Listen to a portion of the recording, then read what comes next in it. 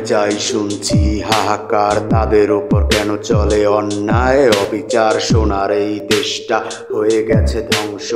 মানুষ ওই পশুদের জন্য সিন্ডিকেট আজকে বন্ধ করবে। পণ্যের দাম আজ পাঁচ টাকা কমলে কাল আবার দেখো বিশ টাকা বাড়বে। হত দরিদ্রগুলো না খেয়ে মরবে। মানুষরূপী পশুগুলো হেসে খেলে চলবে।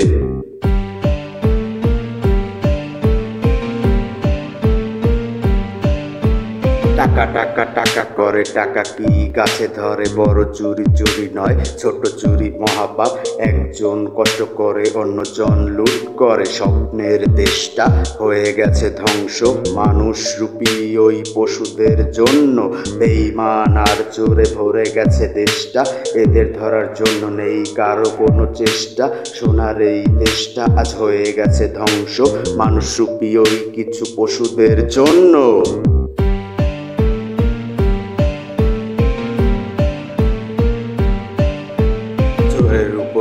ডাকাতি করছে যারা।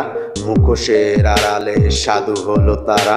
যদি বলো সত্য, তুমি তুমি তবে ভালো নয়। অন্যায় দেখে ও মুখ বুঝে থাকতে হয়। সোনার এই দেশটা আজ হয়ে গেছে ধ্বংস।